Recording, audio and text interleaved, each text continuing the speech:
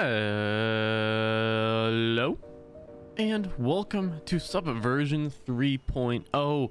Now, I did plan the server during their 2.0 phase, but a couple months ago or a month or so ago, they released their 3.0 where they basically completely redid the server. They removed everything and started from scratch. And since then, they have added quite a lot of content with updating the server pretty dang regularly. So today, we're going to be hopping in the server, checking out how it is, and then we're probably going to come back in a month or two and check it out once again and see what progress has been made. And again, I did play a lot in 2.0, had some great RP and a ton of fun, so I do have high hopes for Subversion RP 3.0. So today, we're going to be checking out a little bit and showing you guys what's been happening so far. So uh, first of all, you know, let's create our character. I think we have to create a new one. Uh, let's spawn at the apartments, obviously. Now, I do remember logging in at one point, but I'm not sure if I actually finished creating my character, so we might be doing that right now. Let's see real quick. We can get a little bit of a look at their character creation process as well. Let's wait till we load in here. Alrighty, we are in. Yeah, this is definitely not the look we're going for. uh, we should hopefully be able to go change our look probably at a barbershop or convenience store. So uh, we should probably go do that. Let's check around our apartment though real quick while we're here. Um, I might have to set some controls. Let me go through those real quick.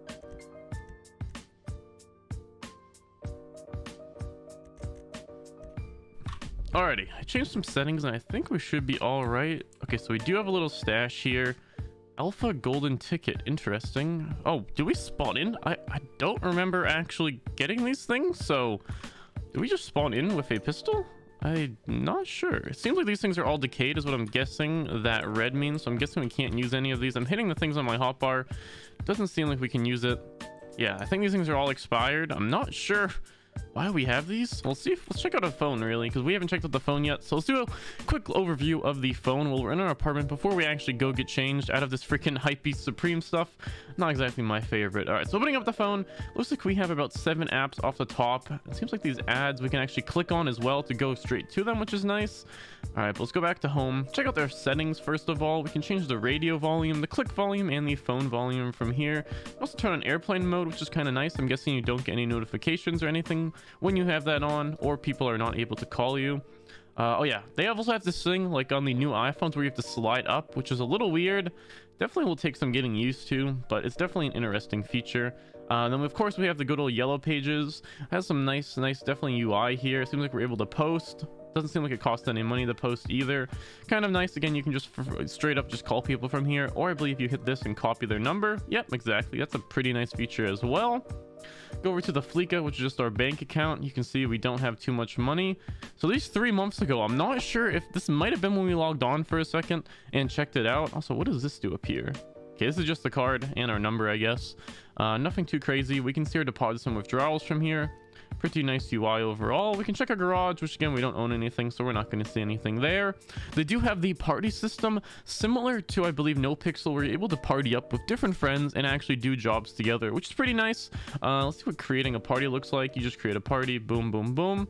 And I'm guessing we can just disband this if we want. Or, let's see, actually, if we're able to go from here and pick a job i guess we are. And then of course do the job from there either by our own or with other players. So let's disband this group for now. Check out our mail just a regular thing just a little inbox. Again we're not going to have anything because we haven't played on the server yet. Then we have this job app which again we're unemployed so not going to see much there. Have the usual phone app there's nothing crazy there. Again you can go to your contacts or recents from here which is kind of nice. Uh, messages app again just normal messages app contacts normal contacts and twitter you know obviously just twitter. Uh, i don't see any pictures so i'm not sure if they have picture um, what's it called? So i'm not sure if they have the picture integration. Where we're able to post pictures here but uh, definitely nice normal uh, twitter ui we can go to oh i guess none of these buttons work. Never mind. And that seems like about it for the phone. Definitely interesting to see. Anything else we have in our apartment we can access our outfits from here which is nice. Uh, obviously we're not going to save this outfit. And let's check how many people are online. Again this is about 3 30 p.m est on a sunday. There are oh it doesn't give us like a big list. It seems like yeah it doesn't give us a big list so i'm actually not sure how many players are on at the moment. But let's head out of our apartment so we can hit oh crap. So i kind of messed up there by making this the same thing. So let me change the setting real quick. All right we should be good now. Go over here and we're able to hit e to exit the apartment or h to look at the browser. And if other people want to they can actually unlock their rooms and i'm guessing you can enter their apartments which is pretty cool. Let's exit the apartments for now. Here we go. Nice alta apartments. Let's uh let's get ourselves looking a little bit better. Uh what do we see is directly on the map? This honestly does not look like there's too much on the map so far. Again the server is still in development very early development so there might not be a ton to do at the moment but uh i'll definitely definitely look around the change logs and go over some of that stuff for you guys as well. Seems like we're parking here. Are we able to actually rent a vehicle? Does not seem like it. Hopefully there is a rental vehicle somewhere because that's something that a lot of servers fail on is not putting a rental so new players are kind of screwed and have nowhere to really go let me look around for a second see if i can find anything Yo, y'all know if there's a place to rent a car around here? There is not. I know. Okay. But to be honest, you could steal cars, and if you got a good story, you won't get a charge. Ah, easy, easy. All right, so apparently, as we just talked to those guys, there is no actual car rental spot, which is a little rough. Um, definitely a feature I think all servers should have, especially for new players who are getting onto the server. If they don't have anywhere to go starting off, they're going to get a little frustrated as I am now. But let's go quickly steal ourselves a car. Hopefully we, we don't run into any police because again, it wouldn't be the best as we're just pretty much starting off on the server. But let's go grab one real quick. Let's try it out with this bike right here. I'm curious how easy it is to actually hotwire. So let's get on. Are we just good to go? No, it does not seem like it. Uh, let's search for the keys first of all. Ooh, nice little UI actually. I kind of like their UIs. They definitely look pretty flashy. Let's wait till this is done. See if we get the keys. Oh, looks like we got the keys. Okay, is it actually an inventory item? It looks like it was.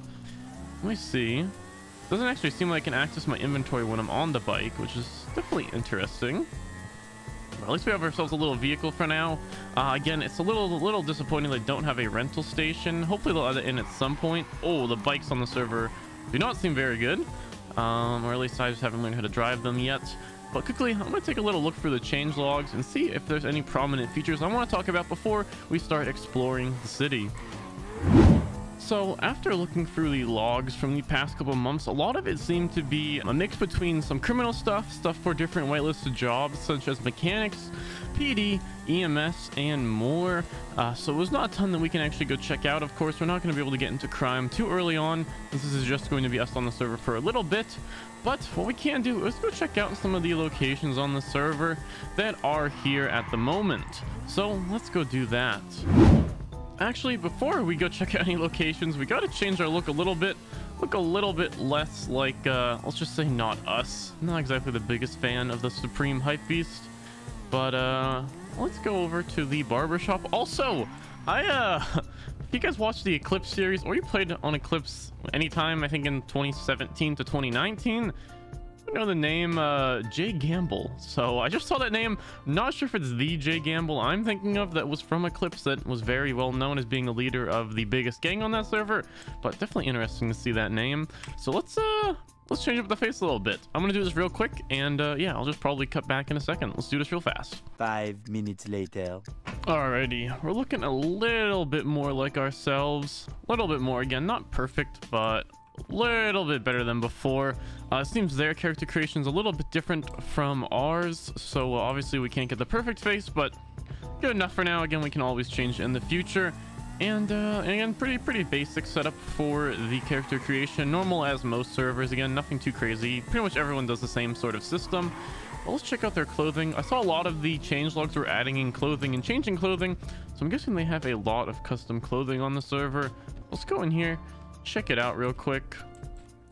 Let me see where we change. Maybe it's in the back here. Let's see. No, oh wait, here it is. Eat open shop. Okay, boom. So let's check out the clothing real quick. Okay, interesting clothing system again. We can zoom in, zoom out, all stuff like that. But uh, let's obviously start off with our clothing. Boom, there we go. So again, pretty interesting clothing system think they have a lot of custom clothing. If we start going probably pretty high, like in the 200s, I'm guessing we're going to see a lot of it. This all seems like default GTA. Should be running into the modded stuff soon, I'm guessing. Although it might just be scattered around. Keep going up and see. Hmm. I'm guessing that the added clothing might just be scattered around. Oh yeah, there's some stuff. So like off-white here. We got uh where was it another one boom there's another one i'm guessing there's different textures for this as well there they are boom boom boom yeah i'm guessing there is a decent amount of custom clothing on the server from what i saw. So definitely interesting. Yeah there's the supreme hypebeast stuff that i'm not exactly the biggest fan of. There's definitely a lot of custom clothing on the server and it seems like they're adding more and more all the time especially for even the different gangs and such. Definitely interesting to see. But you know let's get our stuff and uh, i'll see you guys again in just one second. Alrighty we should be all good to go. Did none of that just save? Oh my gosh. Where do you even save? Where do you... Oh, the freaking big check mark at the... Oh my... Okay, I'm stupid. So if you guys are making your character or changing your clothing, make sure to hit this freaking huge check mark at the bottom. Don't be stupid like me and hit close. Let me do this again. All right, and once again, I think we should be good to go. Double check. Got the boots, got the pants. Got the jacket, but we don't have the mask. Let's not forget that as well. Can we change the mask from here? Maybe in accessories. Here we go, masks. Let's go find our good old famous zebra mask. Oh, wait, was that it there? This might be the one. Is this the one? There we go. Boom, we got our zebra mask. Let's get the check mark this time. We are ready to go. I think we can also save outfits. Let's try see if we can just do slash outfits. Boom. Let's save an outfit. Hit that one button or... Okay, so this is a little weird now because it doesn't actually let us like hit the button. So a little weird. Let me hit E. There we go. So name, we will do... Can we type here? Hit enter again maybe? Seems we can't type. Okay, let's try and do this again. Again, outfits, save outfit, name, trying to hit... Okay, so we can hit tab to go between and then we have to type it. Okay, so let's do main, boom, and then save. And then we should be good. View outfits, main, we're all good to go. There we go. That was a little confusing for a second. You have to use the arrow keys and the enter to uh, use that menu.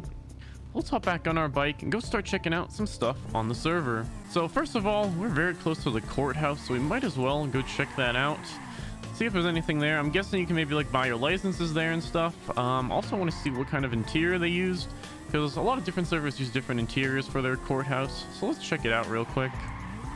We're skirting around here on our little bike. Boom, there we go. Let's check out what's inside the courthouse. Alrighty. They used a pretty nice interior for this. I don't think I've actually seen this one before. I might have for one second. So here we can buy an ID. guessing we can also, it's a little weird getting out of those menus, do slash cash. We've got a hundred bucks on us. So let's go buy our ID. Actually, do we actually have one? Again, these menus get a little weird sometimes where they get stuck. Um, escape, tab, nothing. Guess we have to buy an ID then. Okay, boom. Hopefully we didn't already have one. Doesn't seem like we did, but it also doesn't seem like we got the item. Uh, oh wait, maybe, maybe it's in here now. Boom. Okay, so there's actually separate tabs. So you have keys. So this was for the, I believe, the bike. We actually got a physical item. And then also we have our identity card here. We can switch between those two things. Kind of interesting. Then we can go back to our main inventory by just clicking off of them again. Again, I don't think any of these weapons actually work. Because I think they're all expired. All that stuff is all expired. This desk, I'm guessing, is just the same thing. Yeah, buy ID. Again, it's a little weird getting out of those menus. Let's check out the rest of the courthouse. I'm guessing it's just going to be pretty basic stuff like a little courtroom. Uh, there's probably some offices. Let's check it out real quick. Up here again, yeah, it looks like there's just some offices up here. A little meeting room. Pretty interesting. Nothing too crazy though. Doesn't seem we can go into any of these doors unless they're just locked. That's always a possibility. Uh, let's check downstairs. That's where I think all the courtroom stuff is probably going to be. So let's check on this right side. And that's locked. Okay, never mind. Let's check on this side. And that's open. And I'm guessing this is where the courtroom is. Boom. So there's a nice little courtroom in here. Again, nothing too crazy. Nice, simple courtroom. Definitely nice. Definitely a nice little addition here. Again, you know, you can't do too much crazy stuff for courthouse, but there seems, you know, pretty simple, pretty nice, pretty understandable for the most part. Also, while we're here and just running around, let's take a look at the HUD down in the bottom left. I'm not the biggest fan of it. It's a little weird to see, especially if we're going like this over like the whiteness. It's kind of hard to see. Like again, if we're over like that, it looks fine. But once we go over to a lighter color, it's a little bit harder to see, especially if we go into like the sun like that. It's a little hard to see on your eyes. Uh, there's a little bit more shading, I think, on the uh, numbers I think it would look a little bit better, a little bit of a stroke through them or around them. Let's take a look at them real quick. Again, on the left, let's get it somewhere where you can see it a little bit better into the green over here. So on the left, uh, we have, of course, our stress meter. It was what I'm guessing that is. Uh, again, I have no idea how to relieve stress. After this, we're going to go check out what's in the general stores and see if there's like cigarettes or something there, or if we have to go for weed and other such. Um, we have our O2, which is, of course, our oxygen. I'm not sure why it's at 25%. Uh, I'm not sure, again, how the oxygen works, if you can even get it to 100%, since, again, we are in the air, so we should have full oxygen. Uh, next, I'm guessing we have our hunger, and then after that, our thirst, which both seem like they go down at the same point. On top of that, we have our health bar, which is little interesting. Again, it's a little hard to see in the whiteness as it is like that, and I'm guessing if it is a, a, little bit less than full, it might be a little hard to see. But overall, again, not a horrible UI. Again, not one of my favorites. It's a little hard to see just by like taking a glance at it, but overall, not bad at all. And then we're on a vehicle in the bottom right. We have our miles per hour, our gas, and if our seatbelt is on or off. Again, nothing too much to complain from here. Here, uh, it's a pretty nice looking speedometer as well as the gas tank or the gas gauge and the belt. Nothing crazy again, but uh, something is interesting when the phone pops up. As you see, it does cover all that info. So that's a little frustrating, but again, just a super, super minor inconvenience. But next, let's go check out the general stores and see what we're able to purchase there. Now again, looking for the change logs, there are a decent amount of criminal activity such as robbing stores. They have a racing app coming soon. I believe you can hit banks, although I might be wrong on that. And I believe they have a similar dongle system to what we have on Just RP, where you have a chance to get certain rare items when doing criminal activities. They have Oxy running and a couple other ones. Again, we're probably not going to be checking any of those out during this video, just because, again, we have to uh, actually figure all that stuff out through RP. But uh, let's actually, you know, while we're here, check out the gun store. I have to do this on every single server we go to check out. See if you're able to purchase a gun without a license. So let's do that real quick. Take a little look at ammunition. Let's go on in here. Again, let's go up here and see if we're actually able to just purchase a weapon. Uh, let's see. So obviously we don't have enough money for it. Seems like they do have a nice variety of weapons. They also have armor plates and body armor, which is pretty crazy that they just sell it at the store. But let's see if it'll even let us. Doesn't seem like we got a notification, so we might be able to actually buy weapons without a license, which would be very interesting. Um, usually, I think it's much better to have it so you have to have a license, so legal citizens can, you know, actually start gun running businesses if they want on their own, if they are careful about it, and there's actually a big reason to try and not get caught. So let's go grab some money and see if we're able to actually just purchase a gun without a license real quick, and I'll meet you guys once we're back at the ammunition. Alrighty, and we are back at ammunition with the money on us. Let's see if we're able to actually purchase a weapon without a license. Again, we have, boom, 1300 on us, so we should be able to purchase any of these weapons. Let's, uh, let's go for, let's go for the FNX. Boom. So we are, wow, you are able to just purchase it without actually uh, having a license or anything. We already have ammo in ours. The crosshair on the server is very nice. Definitely like this little crosshair. Definitely interesting to use. So we can put that away for now. We don't have to worry about that gun. But uh, definitely interesting that you can just purchase guns like that. And also their durability system. Really weird how you can't access your inventory on vehicles as well. It's a little frustrating. I don't think there's another way to. So we have to actually get off the bike and then access our inventory. But uh, it doesn't actually show the actual like number of where, but it does seem like once this bar goes down, it will turn red. And then obviously, as we saw before, become unable to be used. So next, let's go check out, again, the general store and see what we can actually purchase from one of those. There's one actually right here. So let's check it out real fast. Again, always good to check out what's at like the YouTool, the convenience stores, the gun shop, all that stuff. Definitely good stuff to see. Uh, so let me see if we go over to him. Boom. Shop. Let's try this again. Boom. Shop. Okay, so nothing crazy. We can buy lighters, cigarette packs to relieve stress, I'm guessing, iced tea, some different waters and drinks, and some different kinds of food. Again, nothing too crazy, but always nice to check out. But uh, let's go head over to the next spot I wanted to check out, which is going to be PDM, of course, and see kind of what the vehicle prices are, see how the vehicle system works, if we actually need a dealer there, or if we can do it ourselves, self-service. Let's go check it out. All right, is this self-service? It is. So let's browse the stock. Nope. Okay, this is a little weird. Boom. Browse the stock. Nope. Okay, let's try this again. Boom. Browse the stock. There we go. Third time's a charm. So we have some bikes for pretty low amounts of money. We have a taxi for 6,000. A couple of muscle cars for a decent amount of money, it looks like. Around 3, 30,000 to quite a lot. 184 for the Dominator. 145 for the faction. Does seem like there is quite a lot in here. And I also believe there are imports to the tuner shop. We can go check that out after this as well. Oh, you can actually get the Comet Safari on the server, which is not a lot on a lot of servers because there's usually guns on them. Definitely a decent amount of vehicles. Seems like most of these sports or actually good vehicles cost anywhere between 200 to holy crap 500k for the chameleon. Hopefully that thing's good because I know default it is not very good. Oh my. Yeah, the, the car prices do seem very, very expensive. Although I don't really have a reference for how hard it is to get money. Oh, it seems we can actually get some imports here as well. So here we have the BMW M5 E60 Ford Focus RS and the Subaru Impreza WRX STI. Definitely interesting. So I guess there are actual imports here as well. It's definitely interesting to see. Let's see if there's any other imports we can find real quick. I think that was it for imports for the sports, unless I missed some near the beginning. Hey, I think that's it. We can check out some of the other imports as well. Maybe there's some in sedans. Look around a little bit. Oh, Audi RS6. Okay, interesting for 600k. Nice vans. Again, all pretty reasonable prices for the vans for sure.